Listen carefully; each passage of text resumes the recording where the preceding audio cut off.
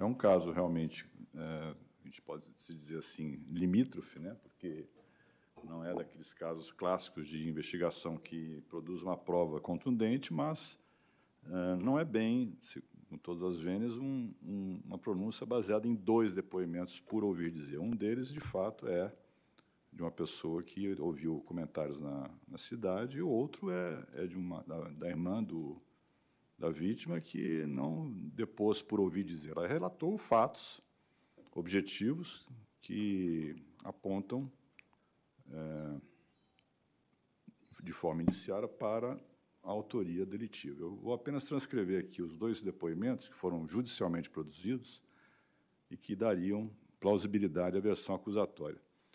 O, o primeiro deles Deixa eu recuperar aqui. O primeiro deles realmente é de um testemunho de ouvir dizer, uma pessoa que estaria, é, segundo consta, na companhia do paciente, de que soube no dia seguinte, por comentários de populares, que teria sido o réu o autor do crime. Né?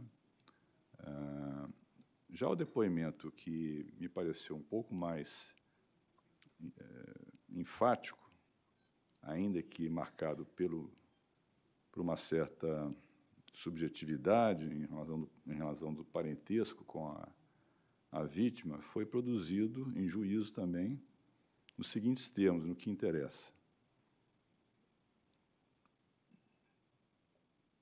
Que a irmã da vítima, embora tenha sido compromissada, né, e que no dia do fato se encontrava em sua residência nessa cidade, que só veio a saber do fato por volta das quatro e meia da manhã, que tem conhecimento de que a vítima tinha rixa com Valdir, ora acusado, que no passado ambos se envolveram em uma briga por conta de política na cidade de Campos Sales, que tem certeza que o autor do crime foi o acusado, que depois do desentendimento entre vítima e acusado por conta política, a família da vítima resolveu mandar a mesma para residir em Brasília, passando três meses quando retornou para a cidade de Campos Sales, no Ceará.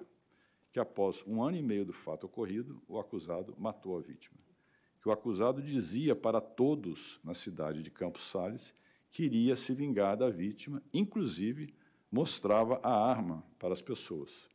Que toda a família da vítima, bem como da testemunha, sabia das ameaças, no entanto, não conseguiu afastar a vítima da referida cidade, vez que a mesma dizia que não iria sair da cidade por conta da sua família que lá residia. Que a vítima foi pega de surpresa, tanto assim que o tiro foi pelas costas na nuca que desde a época do crime o acusado está foragido.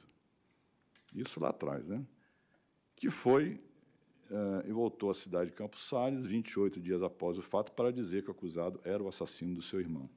Que a depoente também foi ameaçada pela genitora do acusado. Que os familiares são fazendeiros da região e que possuem algumas posses. É, disse ainda em resposta às perguntas do MP que a briga por questões políticas resultou em vez de fato, com lesões recíprocas, mas que a vítima prestou queixa na polícia contra o acusado. Que a vítima,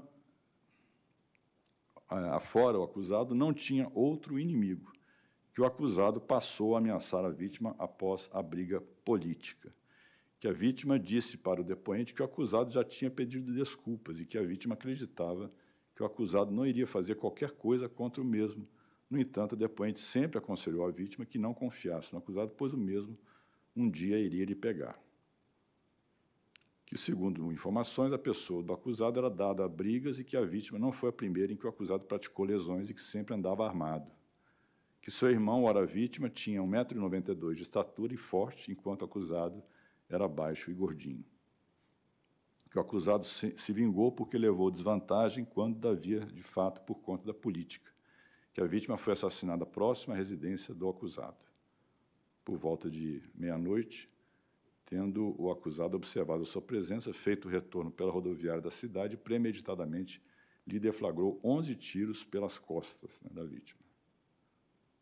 Depois, respondendo às perguntas da defesa, ratificou o depoimento que ouviu do proprietário de um barzinho onde aconteceu o homicídio, que foi a pessoa do acusado, divulgo Badu, quem assassinou a vítima e defragando pelas costas vários tiros. Nesse ponto, é uma testemunha por ouvir dizer.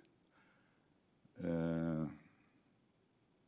Então, senhor presidente e ministro Paz, eu, é um caso que me parece, até pelo tempo transcorrido, né, aparentemente será muito difícil em plenário se produzir uma prova que supere o estándar probatório exigido para a condenação, que é uma prova além de qualquer dúvida razoável. Mas, para fins de pronúncia, me pareceu que, no contexto geral, por, por esse antecedente, por ser uma cidade do interior, é, disputas políticas, enfim, é, eu creio que há suficiência, sim, para a decisão de pronúncia e, cabendo ao Ministério Público, levar a plenário provas mais contundentes para uma eventual condenação. Então, nesses termos, eu voto por denegar a ordem.